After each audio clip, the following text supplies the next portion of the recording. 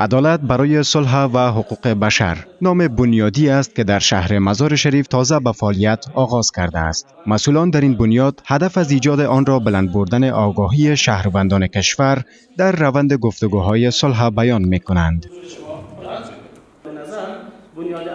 ایت رهبری این بنیاد نقش شهروندان را در دخیل ساختن گفتگوهای صلح مهم دانسته تاکید می کند که مردم باید در این پروسه ملی سهیم باشند. بنیاد عدالت یک نهاد فکری اجتماعی است که هم در حوزه تولید فکر و اندیشه فعال خواد بود و هم در زمینه گسترش این فکر از طریق شبکه از نهادهای مدنی و اجتماعی جهت پرسشگری در جامعه و بسیج جامعه در جهت سهمگیری شهروندان و مسئولیت پذیریشان در قبال سرنوشتشان. هدف از ایجاد بنیاد عدالت قسمی که از نامش پیداست برای صلح و حقوق بشر می‌باشه ما می‌خوایم که در بین مردم ظرفیت ذهن مردم در بین مردم بلند بریم به خاطر صلح.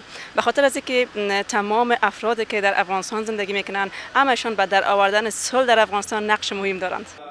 فعالان مدنی بلخ ایجاد نهادهای عدالت خواهی را در اجتماع مهم دانسته تاکید می کنند که بسیج ساختن مردم از طریق نهادهای مدنی می تواند در روند گفتگوهای صلح تاثیرگذار باشد.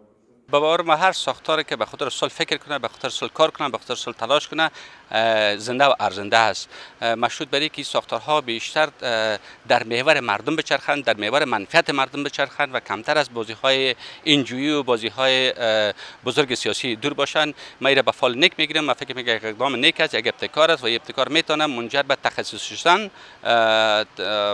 پژوهش محور شدن حرکات رسیدن به صلح شود. بنیاد عدالت که پیش از این به گونه ساختاری فعالیت می کرد از طرح پیشنهادی برای حکومت افغانستان در مورد روند گفتگوهای صلح خبر دادم می گویند که عملی شدن آن از سوی حکومت در این روند می تواند مفید واقع شود. طرح مشخص را برای پیشبرد مذاکرات به وزارت محترم دولت در امور صلح ارائه کردیم که قابل توجه بود برای وزارت و اعضای تیم مذاکره کننده هم تعهد کردند که می‌تونن از بخشای از پیشنهادات ما در جریان مذاکره و برای پیشبرد مذاکرات استفاده بکنند قرار است مذاکرات بین الافغانی در آینده نه چندان دور برای ختم جنگ در افغانستان در یکی از کشورهای منطقه با حضور شماری از کشورها و طرفهای درگیر جنگ در افغانستان برگزار شود.